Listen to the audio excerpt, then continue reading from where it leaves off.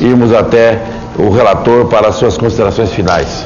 Muito obrigado, presidente André Vargas, é, desse congresso. Não, não tem que não. E diz- é, somente para dizer que o PSB reconhece no deputado Miguel Correia um trabalho excelente, foi um trabalho que realmente retratou aquilo que foi possível fazer. Naturalmente, algumas coisas que a gente gostaria que acontecesse não foram possíveis, e a gente entende que política é isso, que é necessário fazer um, um orçamento realmente realista e que retrate aquilo que é possível ser feito.